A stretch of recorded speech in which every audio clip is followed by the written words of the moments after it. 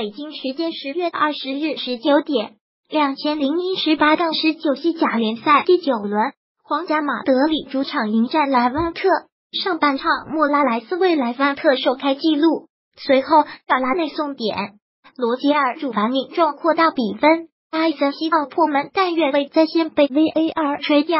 马里亚诺头球中没有。下半场，奥耶尔屡现神扑，本泽马助攻马塞洛扳回一城。随后，本泽马远射中柱。最后阶段，马里亚诺破门，再次被吹罚越位在先。最终，皇马主场一比二不敌莱万特，近五场仍难求一胜。无 C 罗的银河战绩要沉。上赛季双方两回合均战平。皇马此前九次联赛对阵莱万特取得全胜。莱万特唯一一次客胜皇马还是二零零七年，双方联赛历史交锋二十四场，皇马十九胜三平二负占据上风，其中主场十胜一平一负。马里亚诺、埃瑟西奥、卢卡斯、伊斯科和马塞洛轮换出场，本泽马赫贝尔被安排在替补席。第六分钟，莱万特取得领先，波斯蒂格后场过顶长传，直接找到前插的莫拉莱斯。后者换过出击的库尔图瓦推射空门得手，皇马零比一莱万特。第十二分钟，皇马再遭打击，罗吉尔禁区附近横向内切时打在瓦拉内手臂上，主裁听视频助理裁判提示后改判点球。第四十三分钟，马蒂直传越位的托尼奥左路突击横传，罗奇奈小禁区边缘挑射破门被判无效。半场结束前。卡塞米罗角球混战，中头球攻门再次偏出。比赛七十二分钟，替补出场的本泽马助攻马塞洛破门，皇马也打破了此前刚刚创造的队史球荒新纪录，打破四百八十分钟球荒。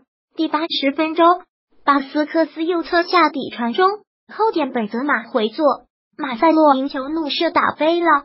第八十七分钟。马里亚诺禁区内乱战中右脚抽射，角度太正被门将没收。C 罗加盟尤文图斯后，球队已经本赛季已经取得十连胜，但罗主场迎战热内亚队，尤文有望取得十一连胜。尤文本赛季 C 罗加盟后，霸气更加十足，在意甲已经没有对手，见谁灭谁，八连冠基本上就是时间问题。而 C 罗离开之后，皇马近五场仍难求一胜。一个球员的重要性，当他离开之后就知道了。